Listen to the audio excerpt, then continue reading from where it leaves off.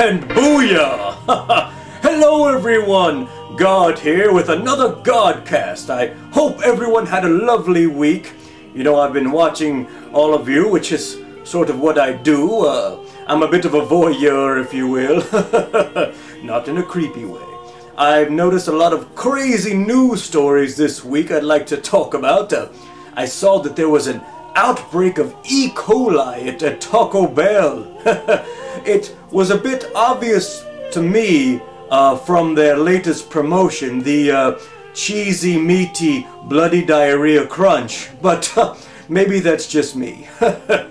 Unfortunately, I saw that Vince Vaughn and Jennifer Aniston broke up, finally for real.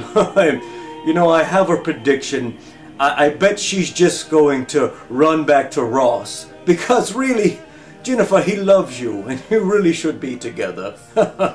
I saw that a woman was putting up her Christmas tree this year, and there was a bat living inside of it. Where the bat flew out and bit the woman. Now, you know, I don't want to accuse anyone, but this smells like the work of that Jack Skellington, if you ask me. But this does help her family this year in finding that perfect gift, rabies shots. You know, I saw that a rapper accused Oprah Winfrey of becoming a white woman.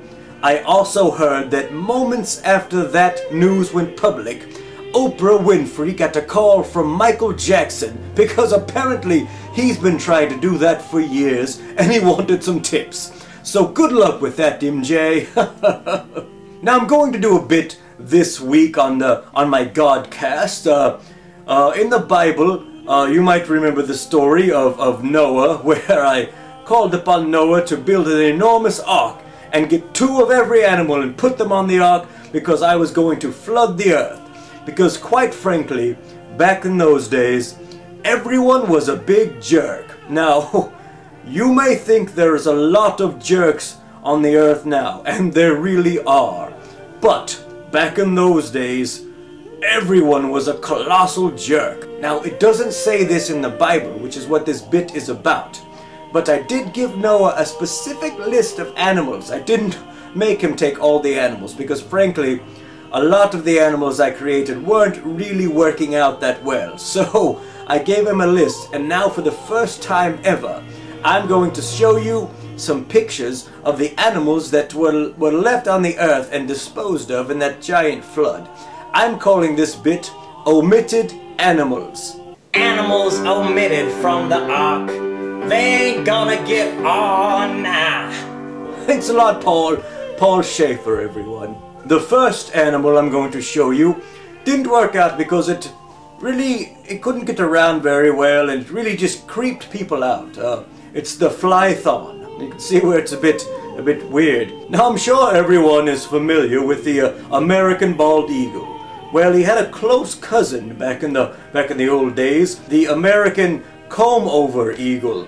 Not as popular as the as the bald eagle. This animal was just weird. I I don't know what I was thinking when I when I made this animal, um, but it's the I can't believe it's not a butterfly. I wanted to make a butterfly with with uh, less fat, and uh, I don't know why. No, I had such success with my centipede and my uh, millipede. I wanted to go uh, wanted to go the opposite way with it, so I created this, the unipede. But it was just a little weird. Now I created a lot of fish uh, but one in particular, one fish that uh, really I thought I probably could nix was this one, the, uh, the MC Hammerhead Shark. This animal was a lot funnier in the 80s to be quite honest. Now the final animal on the list, I actually crossed two animals. I, I took a whale and I crossed it with a jackass and I got this animal. One of them got through, I think. I think one of them got on the on the ark. a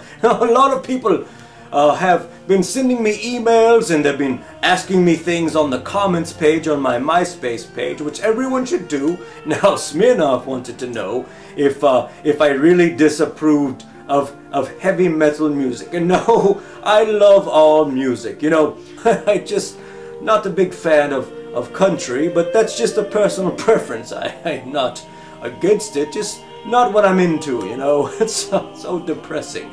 and Brainlock, apparently is his name, wanted to know if I ever doubted myself, would the universe cease to exist? Well, I do have several fail-safes initiated so that something like this doesn't happen. You know, everyone has doubts at times about what they're doing, and uh, I feel what helps me a lot is Paxil.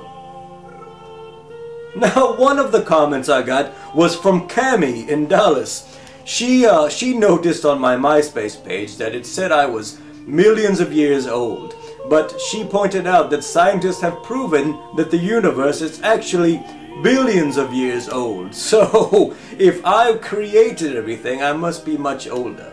Well, I, I'm going to come clean, everyone. You caught me in a fib. I, I was fibbing about my age. I mean, who doesn't do that, right? I didn't want everyone to know how old I actually was. But yes, I am in the billions, and well, here's my, my creator's license, just to show you. Look at that picture. Was I ever that young? Hopefully, everyone will have a great week, and I will see you in one week with another wonderful Godcast. And me bless.